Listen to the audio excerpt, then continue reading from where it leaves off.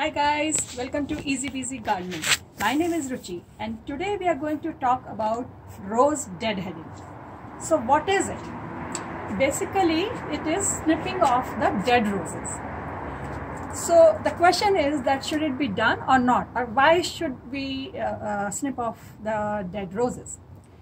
So we have to look at the life cycle of the flowers. So why do plants produce flowers? Basically to propagate the species. So flowers attract bees and birds and they get pollinated and the seeds are formed and you know the propagation happens. So once the seeds are formed, then uh, the plant gets the signal that its job is done. So then it stops producing flowers. So if you want more flowers, you need to snip off the dead flowers.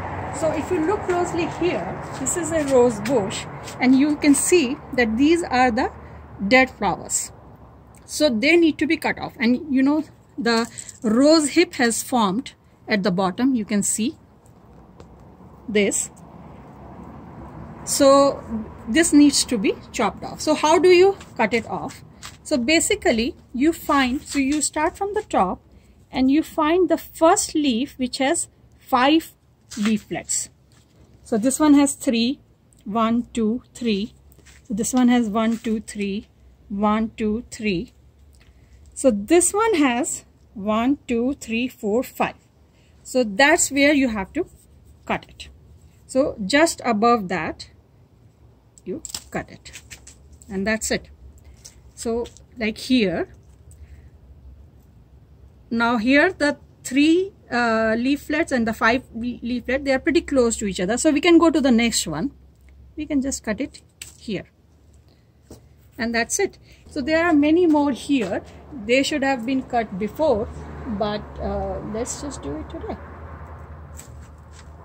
Find the first leaf which has you know five leaflets and snip it off.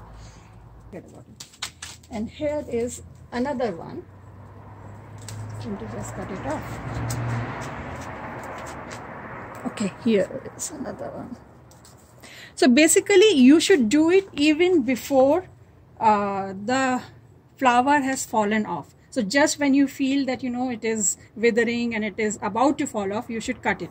So I'll show you another rose here. See this one.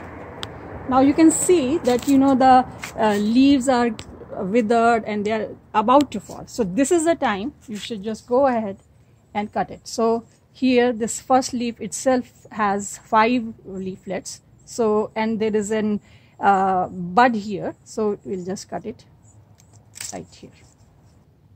That's about it. If you have any questions leave a comment and i'll try to answer as soon as possible. If you like this video press the like button and subscribe to our channel. So i'll see you next time. Bye